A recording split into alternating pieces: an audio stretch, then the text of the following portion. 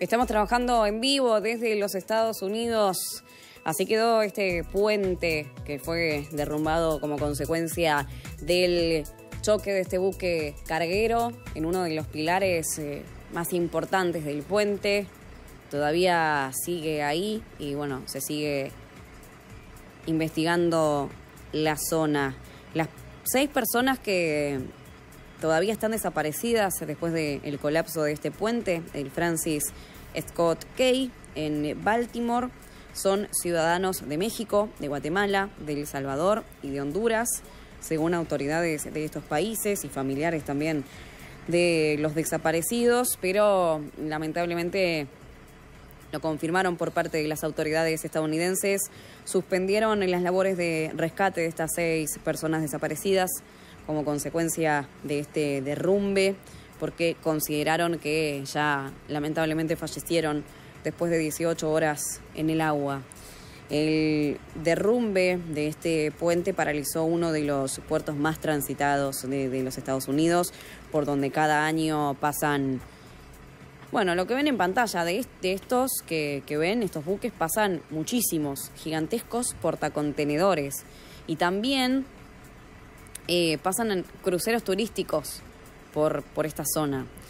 A pesar de esto, la Guardia Costera no va a abandonar el lugar, ahí las veíamos patrullando la zona eh, y las tareas ahora se entraron en una nueva fase porque lo que se busca son restos de las víctimas, no ya personas vivas.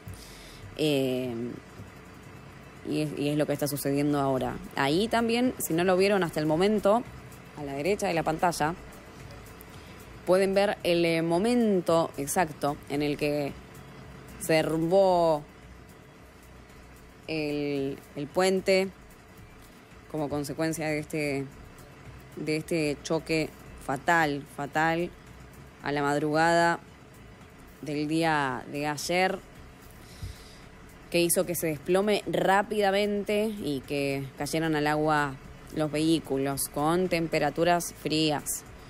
Eh, esto es lo que suponen también desde el equipo de rescate, porque generaría rápidamente hipotermia en las personas que cayeron al agua a estas temperaturas, 9 grados aproximadamente.